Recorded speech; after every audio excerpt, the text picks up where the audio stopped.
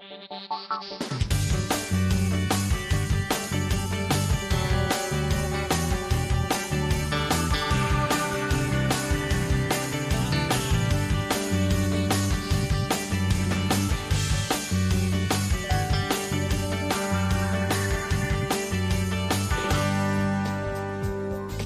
Trakcja kolejowa należy do największych sieci przesyłowych średniego napięcia w Polsce. Z perspektywy pasażera wtapia się w krajobraz lub stanowi jeden z wielu elementów infrastruktury. Dopiero z bliska widać, jak skomplikowana jest to struktura i jak zaskakujące są stosowane w tym obszarze rozwiązania. Jaki prąd płynie w kolejowych liniach energetycznych? Kto je zabezpiecza? Czy jest to niebezpieczna praca? Pytania te zadamy ekspertom zajmującym się elektroenergetyką kolejową, którzy na co dzień zajmują się utrzymaniem i modernizacją sieci trakcyjnej.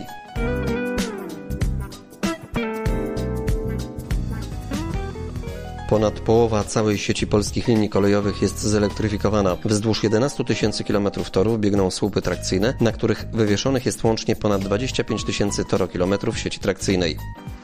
Historycznie były wdrażane różne typy i rozwiązania konstrukcyjne. Aktualnie mamy na zarządzanych przez nas liniach 32 rozwiązania, które posiadają świadectwo dopuszczenia typu sieci do eksploatacji świadectwo wydawane przez Urząd Transportu Kolejowego. Napięcie w sieci trakcyjnej wynosi 3 kV, a prąd, który płynie ma charakter prądu stałego. Jest to tak duże napięcie, że w pracy w elektroenergetyce kolejowej bezpieczeństwo ma szczególne znaczenie.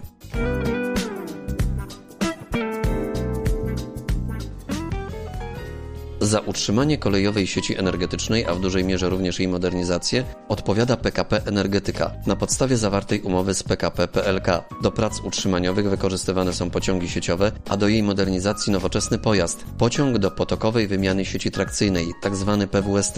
Jest to olbrzymia maszyna ważąca ponad 400 ton. Składa się z trzech członów, a jej łączna długość wynosi 150 metrów. W trakcie pracy pojazd porusza się około 5 km na godzinę, a maksymalna prędkość, jaką może osiągnąć, to 80 50 km na godzinę. PWST, który jest niczym kombajn na torach, zautomatyzował pracę przy sieci trakcyjnej. Dzięki specjalnym podnośnikom pracownicy mogą z łatwością przemieszczać się również na różnych wysokościach, między konstrukcjami. A ponieważ sterowanie podnośnikiem odbywa się zarówno z pokładu maszyny, jak i z kosza, praca jest znacznie wygodniejsza. Dzięki temu zadania realizowane przy pomocy PWST trwają nawet 2-3 razy krócej niż z tradycyjnie wykorzystywanych pociągów sieciowych.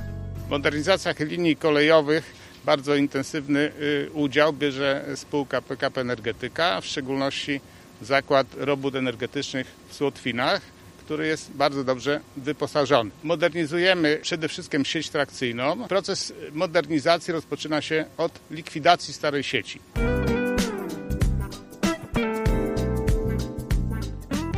Demontaż sieci rozpoczyna się od poluzowania przewodów. Sieciowcy, bo tak nazywani są specjaliści od elektroenergetyki, na podnośniku podjeżdżają do liny i ręcznie zdejmują tzw. Tak wieszaki, które łączą linę nośną z przewodami jezdnymi. Wieszaki są giętkimi linkami wykonanymi z miedzi o przekroju 10 mm kwadratowych. Umożliwiają elastyczne podwieszenie przewodu jezdnego tak, aby współpraca pantografu z przewodami jezdnymi była właściwa. Liczba wieszaków zależy od ilości przewodów jezdnych w danej sieci. W dalszej kolejności pracownicy demontują pozostałe osprzęt i odczepiają liny z konstrukcji wsporczych. Zdejmowane przewody umieszczane są na bębnie znajdującym się z tyłu pojazdu. Można na niego nawinąć od 1200 do 1500 metrów liny, czyli tyle, ile potrzeba do wywieszenia jednej sekcji.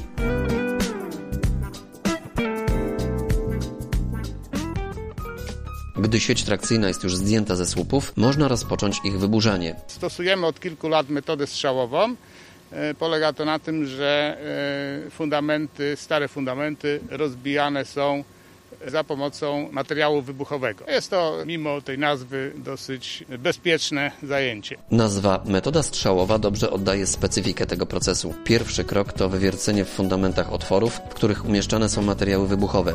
Ważne jest, by ilość zastosowanych ładunków była idealnie dobrana. Zbyt słaby wybuch nie skruszy fundamentów, a za duży może przewrócić słup na drugi tor. Aby do tego nie doszło, słupy dodatkowo zabezpieczane są specjalnymi linami, które przynajmniej do czasu mają utrzymać słup na miejscu. Gdy teren jest odpowiednio zabezpieczony i przygotowany, ładunek zostaje odpalony. Wybuch i niewielka ilość unoszącego się pyłu świadczą o tym, że doszło do eksplozji i zburzenia fundamentów. Wyburzone słupy trakcyjne są wyciągane z posad przez specjalistyczny sprzęt i ładowane na platformę, którą zostaną wywiezione. Wcześniej jednak odspawane są wszelkie wystające elementy, które nie będą już więcej potrzebne. Dokładnie oczyszczane i zasypane jest też miejsce, w którym znajdowały się fundamenty. Ważne jest, by nie utkwiły tam pozostałości dawnego zbrojenia, gdyż po zmodernizowaniu torów w tym samym miejscu mogą być postawione nowe konstrukcje i aby pozostałości nie powodowały uszkodzeń maszyn torowych.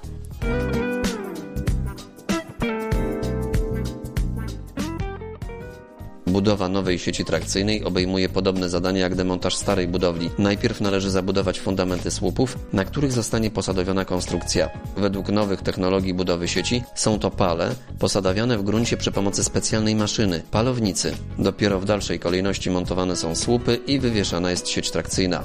Wywieszanie sieci polega na wywieszeniu samej górnej sieci trakcyjnej, ale również innych robotach dodatkowych. Wywieszamy również linę uszczelnienia grupowego i montujemy system ochrony przeciwporażeniowej, ograniczniki napięcia, sieć powrotną i sporo jeszcze innych y, elementów. Ponieważ sieć trakcyjna pod wpływem niskich lub wysokich temperatur zmienia swoją objętość, konieczne jest umieszczenie specjalnych urządzeń naprężających z obciążnikami. Ze względu na kształt są one nazywane dropsami. W zależności od warunków atmosferycznych i temperatury, ciężary te podnoszą się lub opadają, zapewniając w ten sposób odpowiedni stały naciąg sieci. Zjawisko to nazywa się kompensacją sieci.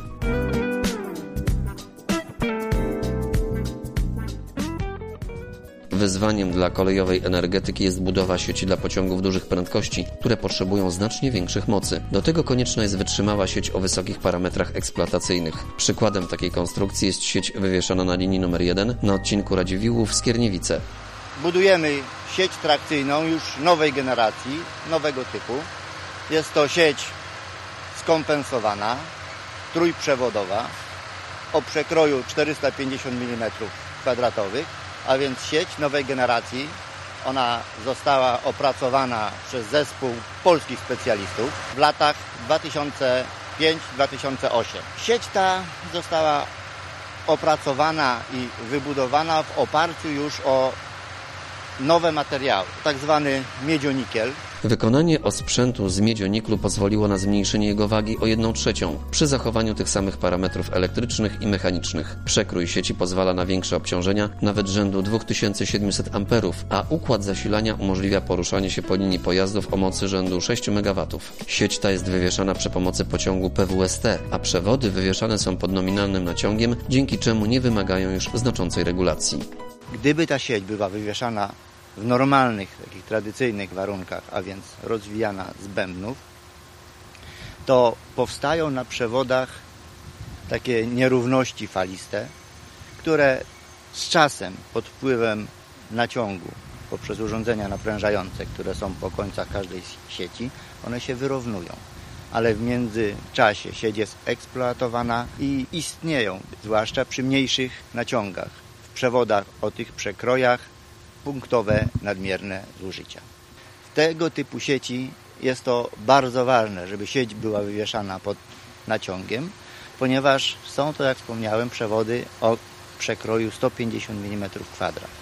Nowa sieć ma dopuszczenie do eksploatacji 200 km na godzinę. Mogą poruszać się po niej również pojazdy o dużej mocy. Jednak nawet takie rozwiązanie będzie niewystarczające dla planowanych kolei dużych prędkości. Technologiczna rewolucja w obszarze zasilania będzie dotyczyć przejścia na nowy system zasilania. Zakładamy, że będzie to system 2 razy 25 kV. No, system polega na tym, że napięciem zasilającym jest prąd przemienny. To znaczy, że on zmienia się zarówno co do wartości, jak i kierunku czasie. Oczywiście również wielkość napięcia. Tu mamy 3 kV, czyli 3000 V. Tutaj będziemy mieli 25 tysięcy V. W projektowanym systemie energetycznym dla kolei dużych prędkości inna będzie też odległość między punktami zasilającymi, czyli podstacjami trakcyjnymi.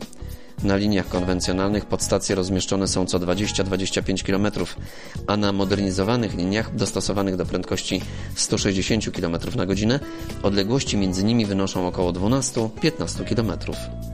Na linii KDP będą one umieszczone w odstępach nawet 50 do 70 km, w zależności od natężenia ruchu i ilości jeżdżących po linii pociągów.